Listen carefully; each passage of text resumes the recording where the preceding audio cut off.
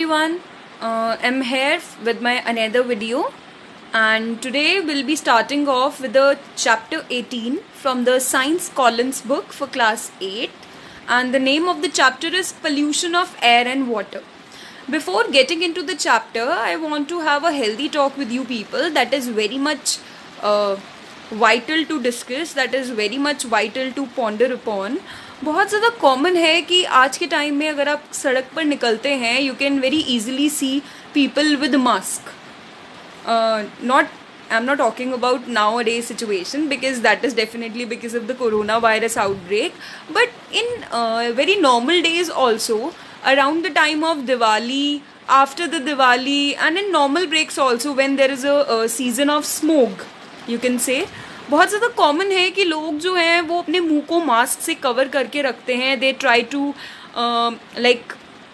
impose air purifier in their homes many places it is being very much imperative to have that because if any asthma patient is over there in your homes that it then it is like very important in that scenario to have very fresh air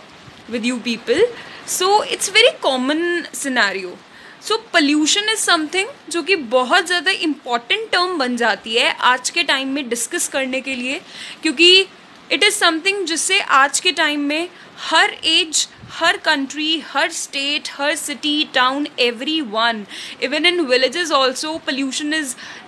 scenario that can be seen very much easily that is only due to the increasing human activity that is destroying the nature very drastically. So today in this chapter through this video I will be just taking you people on a tour that actually what are the basic factors that are responsible for the pollution of air and water actually how they can be prevented or at your level how you can uh, give your support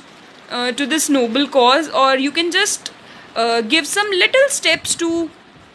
a bit to good uh, like to do a bit good towards the society or the nature okay to start off with first of all i want to discuss that actually what is the content that we will be taking in this uh, video this chapter in this chapter uh, two type of pollution we'll be studying as the name suggests pollution of air and water so definitely we'll be talking about first air pollution water pollution इन दोनों pollution से related क्या effects हैं और फिर उनकी prevention क्या है? And at the very end will be studying about कि how water purification can be done so to start off with first of all you need to know that actually what the pollution means pollution का actual meaning क्या है? हमारे environment में, हमारे nature में कुछ ऐसे सब्सटेंसेस की एडिशन हो जाना बहुत ज़्यादा लार्ज अमाउंट में जो हमारी इनफैक्ट हर लिविंग बीइंग की वेल बीइंग के लिए अनस्यूटेबल है। इस प्रोसेस को बोला जाता है pollution addition of unwanted and undesirable materials in the environment in large amounts which make atmosphere unsuitable for living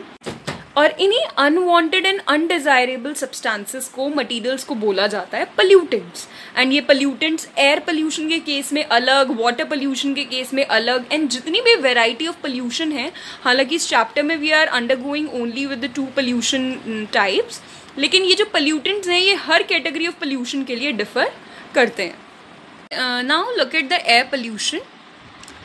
definition की वापस we don't need to define it again क्योंकि वही addition of unwanted and undesirable material जब air में हो जाता है large amount में, कि लिविंग बींग्स के लिए जो एयर क्वालिटी है, वो बिल्कुल भी अनफिट हो जाती है, बिल्कुल सूटेबल नहीं रहती है that scenario is known as air pollution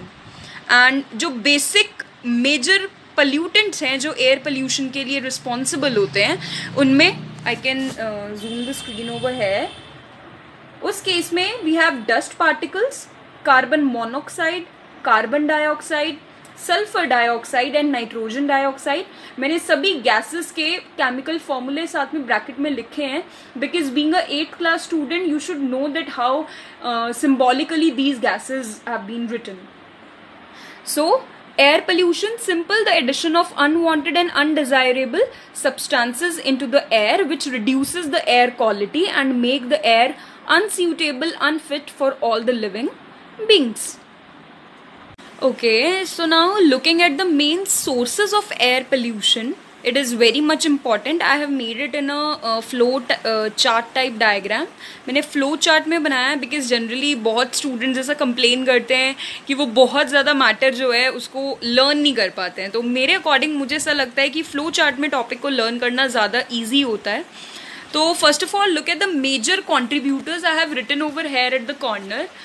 air pollution के जो मेन कॉन्ट्रीब्यूटर्स हैं उसमें सिर्फ़ ये कहीं ना कहीं से तीन मेन चीज़ें आती हैं that is burning of fuels जिसमें वुड आता है काउडंग केक्स आ सकते हैं, या जितना भी ऑटोमोबाइल में हमारा जो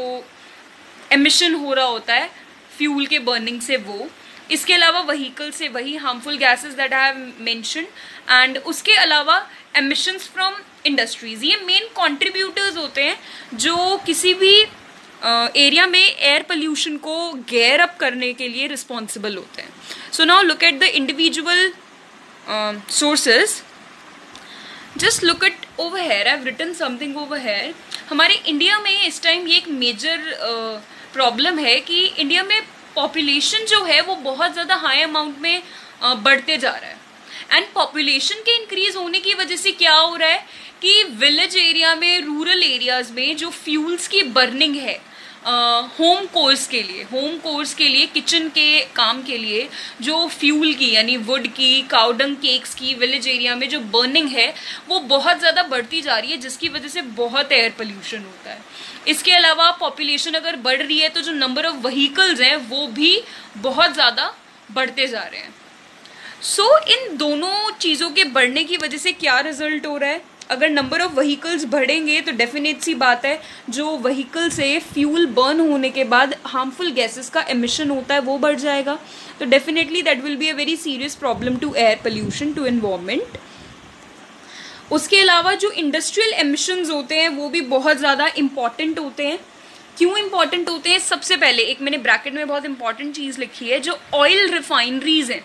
उनसे सबसे ज़्यादा नाइट्रोजन डाइऑक्साइड और नाइट्रोजन के बाकी जो ऑक्साइड्स हैं, वो रिलीज़ होते हैं, जो कि हमारी एयर क्वालिटी को बहुत ज़्यादा पुअर बनाते हैं and they are very much seriously harmful to all the living beings also इसके अलावा इंडस्ट्रीज़ से, जो फॉर एग्ज़ाम्पल अगर कोई केमिकल यूसेज हो रही है किसी इंडस्ट्री में उसके बर्न होने पर हार्मफुल गैसेस निकल रही हैं कार्बन डाइऑक्साइड गैस निकल रही है। लेकिन बहुत बार ऐसा होता है कि वो जो फ्यूल है, वो कम्प्लीटली बर्नअप नहीं हो पाता। वो सिर्फ़ थोड़ा सा ही बर्न होता है। पार्शली बर्न कार्बन जो होता है ना पार्शली बर्न कार्बन पार्टिकल्स जो होते हैं, वो जब इंडस्ट्रीज़ से निकलते हैं। जब हमें एमिशन इंडस्ट्री से मिलता है पार्शियली बर्न कार्बन पार्टिकल्स का तो वो बहुत ज़्यादा हार्मफुल होता है। मैं इसका रीज़न भी बता दूँ। अगर कार्बन कार्बन पूरा बर्न होता है तो वो carbon dioxide gas emit out करता है। लेकिन जब कार्बन पार्शियली अनबर्नट होता है तो वो कार्बन मोनोक्साइड को रिलीज़ करता है सी ओ जो मैंने अभी just few minutes ago it was written on the board carbon monoxide human beings के लिए बहुत बहुत ज़्यादा हार्मफुल होता है as compare to carbon dioxide but both are equally very much responsible for causing the air pollution उसके अलावा next sources C F Cs chlorofluorocarbon इसके बारे में डिटेल में बात करेंगे when will be talking about ozone layer ये जो क्लोरोफ्लोरोकार्बन हैं एक्चुअल में ये कहाँ यूज़ होते हैं? इन कूलेंट्स हमारे होम्स में जो रेफ्रिजरेटर्स होते हैं या जो एयर कंडीशनर्स होते हैं, उनमें कूलेंट फिल किया जाता है। ये बहुत कॉमन सिनारियो है। आप सबने लाइक जनरली सुना होगा कि जब ए चलने का सीज़न आने वाला होता है, तब all of a sudden fridge की रेफ्रिजरेटर या ए की जो गैस है वो लीक हो जाती है। Like it's a very common term use in our homes की एसी की गैस खत्म हो गई है। उसके बाद कोई मैकेनिक आता है और वो एक कूलेंट होता है गैसीय स्टेट में जिसको फिल करता है वो उसमें। एक्चुअल में उन कूलेंट्स में यही सब्सटेंस uh, प्रेजेंट होता है दैट इज़ क्लोरोफ्लोरोकार्बन एंड ये बहुत ज़्यादा हार्मफुल होता है अगर ये ओपन एटमोसफेयर में एक्सपोज हो जाए। इसका क्या एग्जैक्टली हार्मफुल इफ़ेक्ट है हमारे एटमॉस्फेयर में वो अभी लाइक like, कुछ देर बाद जब हम ozone depletion and ozone layer के बारे में पढ़ेंगे तब मैं बताऊँगी। And this is something again very important सारा पोल्यूशन सिर्फ़ ह्यूमन एक्टिविटी से नहीं होता। इट्स नॉट इम्पेरेटिव uh, कि हम सारा दोष ह्यूमंस को ही दे। एक्चुअली हमारे पास कुछ नेचुरल सोर्सेज भी हैं एयर पोल्यूशन के that is forest fires and volcanoes क्योंकि जब फॉरेस्ट फायर्स हो जाती हैं टेम्परेचर वेरिएशंस की वजह से या वोल्कैनोज जो ज्वालामुखी होता है, जब वो होता है तो इन दोनों चीज़ों के दौरान बहुत ज़्यादा हाई अमाउंट में जो गैसेस का एमिशन है, वो ओपन एटमॉस्फेयर में होता है and that becomes a very major problem and it seriously reduces the air quality index a lot so these are the major air pollution sources okay I have mention three critical sources of air pollution जिनकी explanation थोड़ी सी important है। First of all S P M S P M को अगर मैं expand करूँ it is suspended particulate matter इसके full uh, form से एक्सप्लेन हो रहा है कि एक्चुअल में क्या है? सस्पेंडेड सस्पेंडेड मैटर सस्पेंडेड का मतलब कोई ऐसी चीज़ जो खुद को एटमॉस्फेयर में होल्ड करके रख ले। दैट मीन्स वो रुक जाए वहीं पर। Minute carbon particles and other pollutants that remain suspended in atmosphere S P M उन सब्सटेंसेस को बोला जाता है, उन पल्यूटेंट्स को बोला जाता है, जो या तो जनरली कार्बन के माइन्यूट पार्टिकल्स होते हैं या दूसरे पल्यूटेंट्स के बहुत छोटे साइज़ के पार्टिकल्स होते हैं और वो अपने लाइट वेट होने की वजह से एटमॉस्फेयर से नीचे फ्लो डाउन नहीं हो पाते और वो एटमॉस्फेयर में एज सच एटमॉस्फेयर में एज सच एक्यूमुलेट होते रहते हैं, होते रहते हैं और सस्पेंड करके वहीं रह जाते हैं। And in suspended particulate matter की वजह से जो सबसे मेजर प्रॉब्लम आती है वो ये कि एक तो ये लंग कैंसर को बहुत ईजिली कॉज कर जाते हैं। लंग डिज़ीज़ जितनी भी रिलेटेड है, वो सारी की सारी बहुत ज़्यादा कॉमन हो जाती है इनकी वजह से। उसके अलावा अगर ये SPM ये जो मटेरियल है, अगर ये लीव्स के ऊपर सेटल डाउन हो जाता है डस्ट की तरह तो ये फोटोसिंथेसिस प्रोसेस को डिस्टर्ब करता है। एंड दैट मीन्स वो कंप्लीट साइकिल को ही इन्वायरमेंट की डिस्टर्ब कर देता है। Next coming to next critical source of air pollution that is carbon monoxide carbon monoxide I have just discussed carbon monoxide तभी प्रोड्यूस होती है जब फ्यूल्स का इनकम्प्लीट कम्बशन होता है। Combustion you must have studied it in your previous classes combustion का मतलब होता है किसी भी चीज़ की ऑक्सीजन के साथ रिएक्शन कराना या ऑक्सीजन की प्रेजेंस में किसी भी चीज़ को बर्न करना दैट इज़ कम्बशन तो जब कोई फ्यूल इनकम्प्लीट तरीके से कम्बस्ट आउट होता है इनकम्प्लीट तरीके से बर्न होता है तो उससे कार्बन मोनोक्साइड निकलती है। और कार्बन मोनोक्साइड सबसे ज़्यादा क्या हम प्रोड्यूस करती है कि अगर ह्यूमन बींग्स में कार्बन मोनोक्साइड एक्यूमुलेट हो जाता है तो वो ह्यूमन बींग्स की बॉडी में ऑक्सीजन की सप्लाई को चोक कर देती है inadequate supply of oxygen in human beings it causes and that become seriously sometimes life threatening next critical sources C F Cs that is chlorofluorocarbon chlorofluorocarbon जो है that is also have just discuss bit ago जो chlorofluorocarbon हैं, वो हमारे air conditioner system में होते हैं। इसके अलावा एरोसोल कैंस में होते हैं। जो एरोसोल कैंस हैं, वो वही कूलेंट कैंस होती हैं, जो हमारे रेफ्रिजरेशन में या फिर हमारे एयर कंडीशनर सिस्टम्स में फिल की जाती है। एंड इसका सबसे बड़ा मेजर जो इफ़ेक्ट है, वो क्या है? कि ये ओजोन लेयर को डिप्लीट करते हैं। So let's look after the effects that this air pollution cause अगर मैं एयर पोल्यूशन के इफ़ेक्ट्स की बात करूँ तो दो मेजर इफ़ेक्ट्स जो एयर पोल्यूशन कॉज करता है that is global warming and acid rain उसके अलावा बहुत सारे कुछ और इफ़ेक्ट्स भी हैं, लेकिन ये दो इफ़ेक्ट्स ऐसे हैं जो हमारे कम्युनिटी को, हमारे इन्वामेंट को, हमारे पूरे यूनिवर्स को बहुत ज़्यादा एडवर्सली इफ़ेक्ट करते हैं। तो सबसे पहले ग्लोबल वार्मिंग की हम बात करेंगे। लेकिन ग्लोबल वार्मिंग समझने से पहले you need to know that actually what green house effect is और ग्रीन हाउस इफ़ेक्ट समझने से पहले यू नीड टू नो कि एक्चुअल में ग्रीन हाउस का मीनिंग क्या होता है। ऐसे बहुत सारे गार्डनर्स होते हैं जो नर्सरीज में छोटे छोटे प्लांट सैपलिंग्स को ग्रो कराते हैं। ऐसे बहुत सारे रीजन्स हैं जहाँ पर प्रॉपरली सनलाइट नहीं हो पाती है, आ पाती है प्लांट्स को नहीं मिल पाती तो उनकी ग्रोथ जो है वो हैम्पर होती है। या ऐसा सीज़न है जब बहुत ज़्यादा टाइम के लिए जो सनलाइट है वो अवेलेबल नहीं हो पा रही है तो ऐसी कुछ सिचुएशंस में जो गार्डनर्स हैं, वो ग्रीन हाउस की हेल्प लेते हैं और नर्सरी में प्लांट्स को ग्रो करते हैं। एक्चुअली इस ग्रीन हाउस का कॉन्सेप्ट क्या है? As I have shown through the picture एक ग्लास का बना हुआ छोटा सा रूम टाइप सिनारियो होता है, जिसके अंदर छोटे छोटे सैपलिंग्स को ग्रो किया जाता है। ग्लास की प्रॉपर्टी होती है कि उसके अंदर जो एनर्जी जो हीट एनर्जी उसके थ्रू ट्रांसमिट होगी, वो उसके अंदर स्टोर होकर रह जाएगी, वो बाहर वापस एस्केप आउट नहीं कर पाएगी। जिसकी वजह से जब हम इस ग्रीन हाउस को प्रॉपर सनलाइट में फॉर्म आउट करते हैं तो जितना भी सन से एनर्जी आएगा, वो इस ग्लास हाउस में ग्लास के थ्रू अंदर एंटर होगा और बाहर वापस नहीं जा पाएगा। और प्लांट को अंदर प्रॉपर टेम्परेचर मिल जाता है, जो प्लांट को अपनी ग्रोथ के लिए चाहिए और वो उसे उस रीजन में अवेलेबल नहीं हो पा रहा। This is what the concept behind the green house कि जो सन से हीट एनर्जी है वो हाउस के अंदर आती है वो उस रूम के अंदर आती है कॉटेज के अंदर आती है और वापस बाहर नहीं जा पाती और उसी हीट एनर्जी को हम यूटिलाइज करते हैं प्लांट्स की ग्रोथ के लिए। Now how it is related to global warming how what is greenhouse effect and how it is related to pollution? Now look uh, after this. Green house क्या है, वो कॉन्सेप्ट हमने समझ लिया. Now how it is related to pollution let's ponder upon this look at this picture actually I want to show you something carbon dioxide gas जो है, वो definite सी बात है कि हमारे एटमॉस्फेयर में इस टाइम बहुत ज़्यादा है. लेकिन अगर मैं पहले के टाइम की बात करूँ तो एक्चुअल में मैं इस पिक्चर के थ्रू क्या दिखाना चाह रही हूँ आप लोगों को? अर्थ में, पहले जब अर्थ के एटमॉस्फेयर में कार्बन डाइऑक्साइड का नॉर्मल लेवल था मतलब बहुत ज़्यादा इंडस्ट्री से एमिशन नहीं था, बहुत ज़्यादा वहीकल से पल्यूशन नहीं आ रहा था।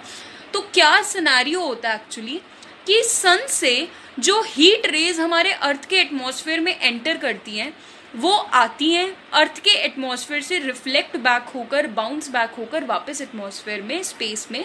चली जाती हैं। लेकिन कार्बन डाइऑक्साइड गैस की एक प्रॉपर्टी है। कि वो हीट एनर्जी को हीट रेज को जो सन से आ रही है वो उन्हें ट्रैप करके रख लेता है। तो यानी एक्चुअल में क्या सिनारियो हो रहा होता है? अगर मैं एग्ज़ाम्पल के लिए लूँ कि अगर अर्थ से सन uh, से अर्थ के एटमॉस्फेयर में थाउज़ेंड रेज आ रही हैं तो कार्बन डाइऑक्साइड उनमें से टेन हीट रेज को स्टोर करके अर्थ के एटमॉस्फेयर में छोड़ देगा एंड बाकी की सभी रेज को वापस से स्पेस में बाउंस बैक कर देगा।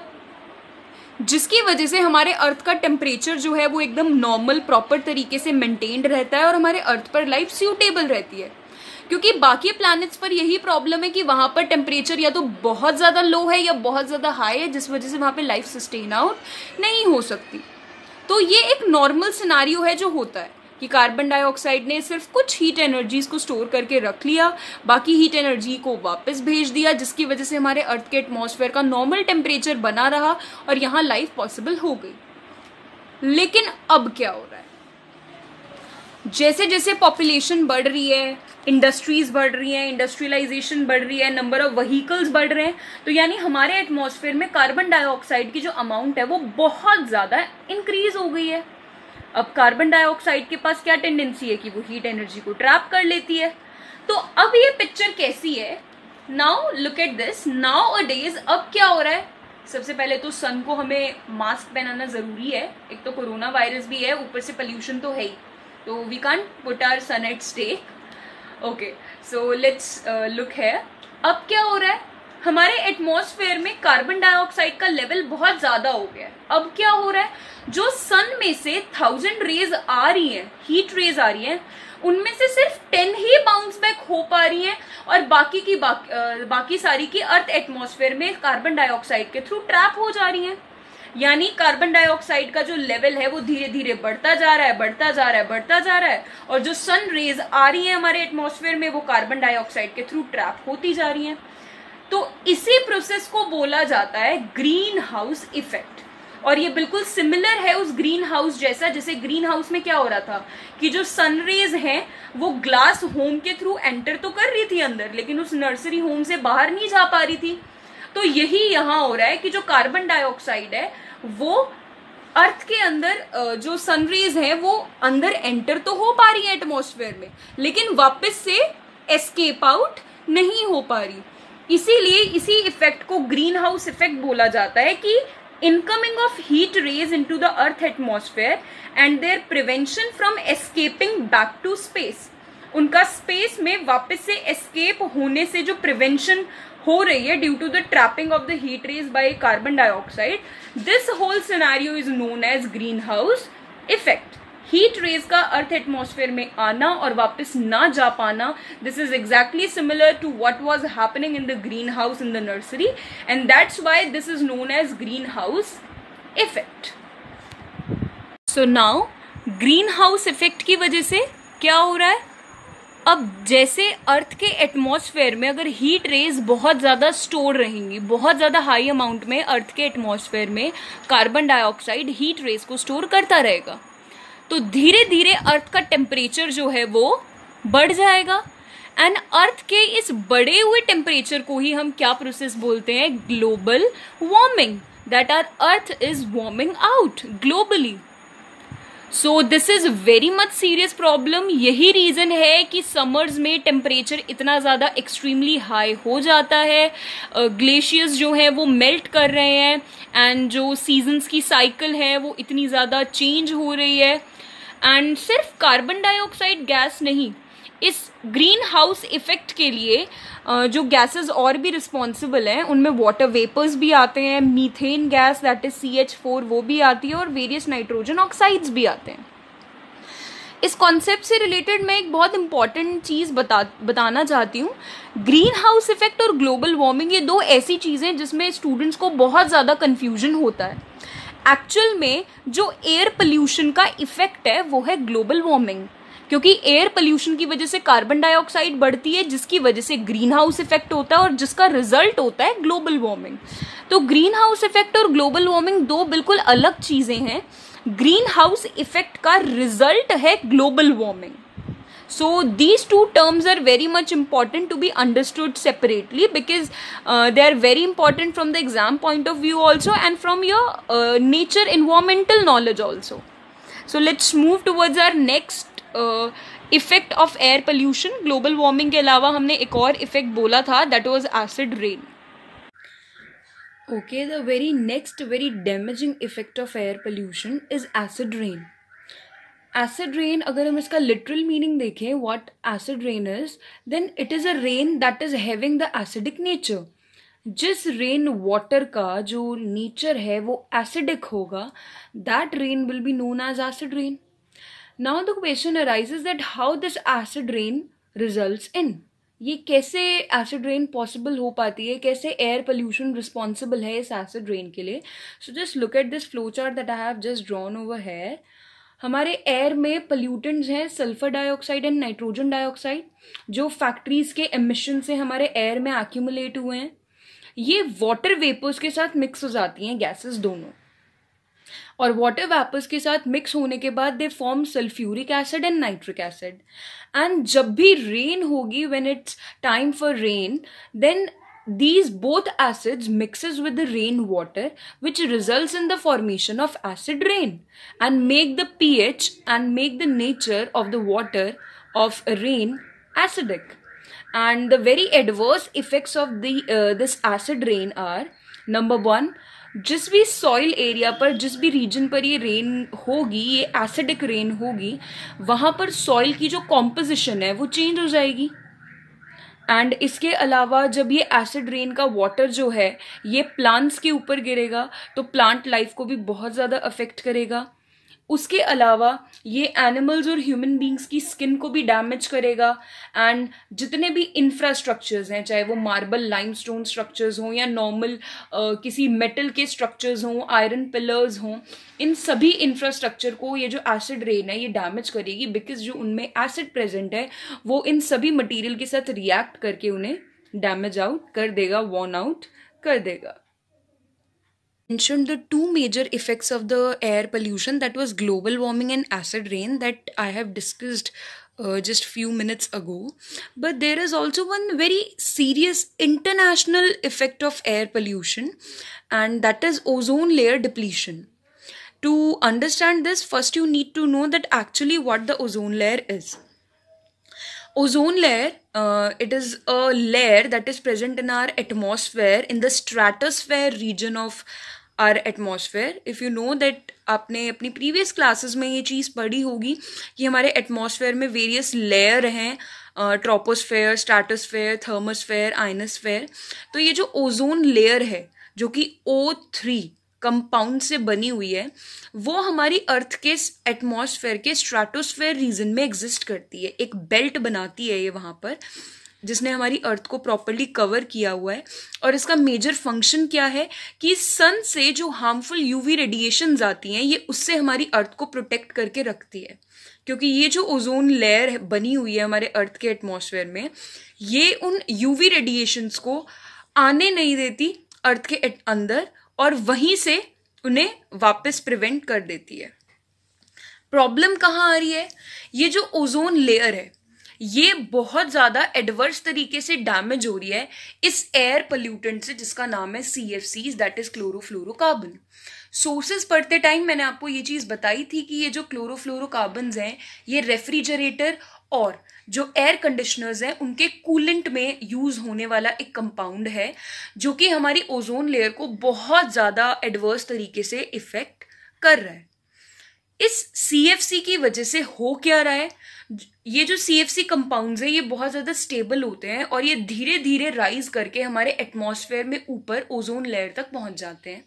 एंड वहाँ पर ये ओजोन लेयर के साथ रिएक्ट करके क्या करते हैं? ओजोन लेयर को थिन करना शुरू कर देते हैं उसकी लेयर को डिक्रीज करना शुरू कर देते हैं। अब अर्थ के जिस रीजन में ओजोन लेयर ऊपर एटमॉस्फेयर में नहीं प्रेजेंट होगी वहाँ पर आ, क्या क्रिएट हो जाएगा? ओजोन होल मतलब उस रीजन में ओजोन प्रेजेंट नहीं है। जिसकी वजह से क्या होगा, जो यूवी रेडिएशन है, उस एरिया से अंदर आ जाएँगी अर्थ एटमोस्फेयर में और वो क्या कॉज करेंगी? आईज को डैमेज और साथ में skin cancer. So this is a very serious international topic uh, that needs to be pondered upon as a result of adverse effect of air pollution. Ozone layer CFC air pollutant के साथ react करके thin होती जा रही है damage होती जा रही है deplete होती जा रही है जिसकी वजह से अलग अलग जगहों पर ओजोन होल्स क्रिएट हुए हैं एंड जिन एरियाज़ के थ्रू अर्थ के एटमॉस्फेयर में यूवी रेडिएशन एंटर कर जाती हैं जो आइज़ को डैमेज और स्किन कैंसर कॉज करती हैं okay what are the common effects of air pollution that uh, it have on human beings plants and animals there are very much important facts to ponder upon first of all let's start backwards look at this bubble that i have made vehicles में जो fuel use किया जाता है that is petrol petrol में lead की amount को add किया जाता है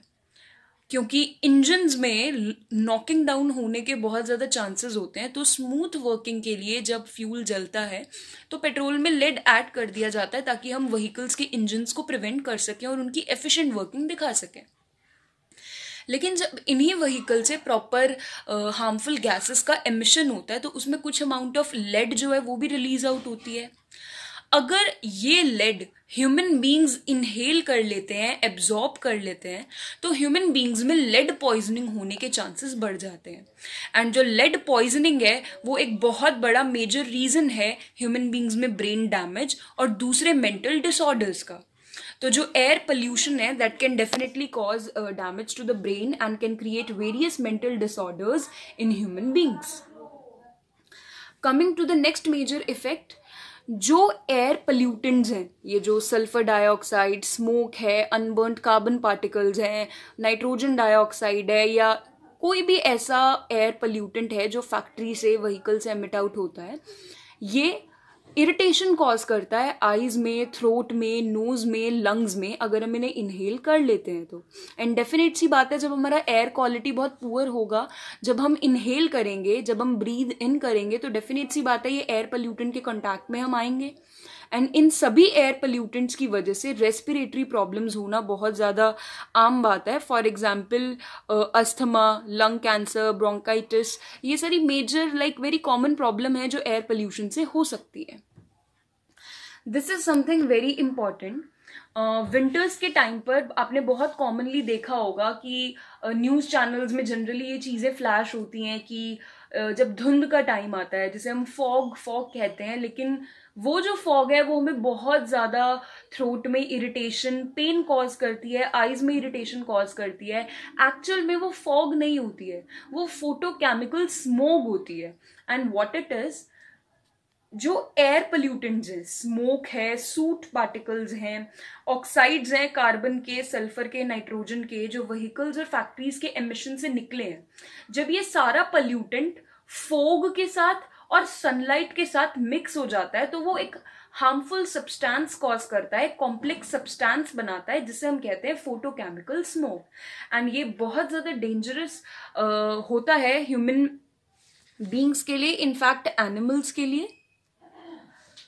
उसके बाद let's coming to the very next effect of the air pollution that is हमने बात की थी सोर्सेज में जब अनबर्नड कार्बन पार्टिकल्स रह जाते हैं, जब किसी फ्यूल की इनकम्प्लीट कम्बशन होती है तो वो कार्बन मोनोक्साइड का एमिशन करते हैं।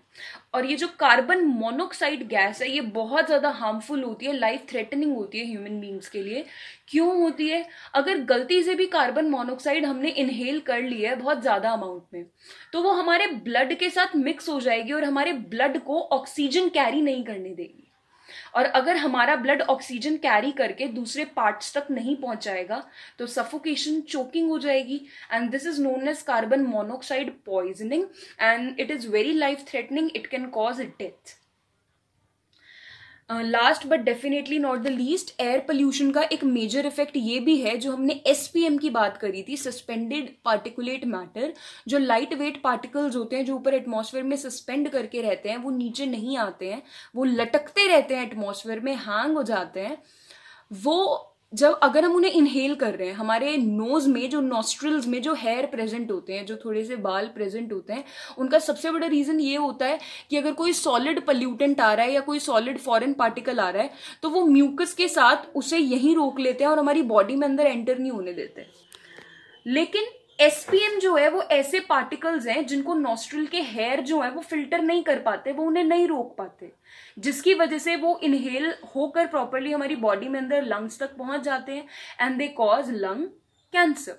so these are the various major effects of air pollution on human beings plants animals now look let's look after that how this air pollution can be prevented how these effects can be minimize okay now let's come to the various methods that uh, which can be adopted to prevent this air pollution or to reduce the effects of air pollution. So very common and very basic. First of all, afforestation. जितने ज़्यादा trees हमारी locality में हमारी community में हमारे country में हमारे पूरी यूनिवर्स में होंगे उतना ज़्यादा एयर पोल्यूशन का इफ़ेक्ट मिनिमाइज हो जाएगा क्योंकि ट्रीज जो है, वो कार्बन डाइऑक्साइड को कंज्यूम करते हैं during the process of photosynthesis तो जितने ज़्यादा ट्रीज होंगे, उतनी ज़्यादा कार्बन डाइऑक्साइड की वैल्यू जो है, वो कंज्यूम हो जाएगी। तो हम कार्बन डाइऑक्साइड की अमाउंट को बहुत एफिशिएंटली रिड्यूस कर सकते हैं by promoting afforestation and by de promoting deforestation second preventive measure can be use of alternate fuels हमें पता है वहीकल्स में से होने वाला जो हार्मफुल एमिशन है, वो एक बहुत बड़ा मेजर सोर्स है एयर पोल्यूशन का। तो उन ऑथेंटिक फ्यूल्स को जो डीजल है पेट्रोल है, उन्हें हम रिप्लेस करना चाहें तो कर सकते हैं by using some alternate fuels that is LPG CNG because they are environment friendly fuels liquefied petroleum gas compress natural gas क्योंकि इन फ्यूल्स को यूज़ करने के बाद जो व्हीकल से एमिशन निकलेगा, वो बहुत हद तक हार्मफुल एमिशन नहीं रहेगा and there will be reduction in the harmful emission from the vehicles जो कि दिल्ली में इफ़ यू नो जो आजकल अगर जो लाइव एग्जांपल्स की अगर हम बात करें जो लो फ्लोर बसेस हैं या जो पब्लिक व्हीकल्स हैं जो पब्लिक ट्रांसपोर्टेशन है वो मोस्ट ऑफ़ ऐसे सोर्सेज पे चलनी स्टार्ट हो गई है। फॉर एग्ज़ाम्पल पहले कभी जो रेलवेज हैं वो इंजन पे कोल uh, पे रन करती थी वो इलेक्ट्रिसिटी से रन करती है। जो दिल्ली में बसेस हैं low floor buses they are totally based on C N Gs and e rickshaws ये they all are the alternative sources to replace the harmful emission from the vehicles इसके अलावा next preventive measure is जो villages में या फिर जो uh, rural areas में kitchen course के लिए जो फ्यूल की बहुत ज़्यादा बर्निंग की जाती है वुड की काउडंग केक्स की चारकोल की कुकिंग के काम के लिए किचन के दूसरे कामों के लिए, उन्हें रिप्लेस करके प्रॉपर एफिशिएंट स्टोव्स यूज़ किए जा सकते हैं, उन्हें एलपीजीज प्रोवाइड की जा सकती हैं solar water heaters and solar cookers use किए जा सकते हैं, ताकि ये जो हार्मफुल एमिशन होता है गैसेस का वहाँ से, वो रिड्यूस हो जाए। उसके अलावा this is something very much important that is use of catalytic converters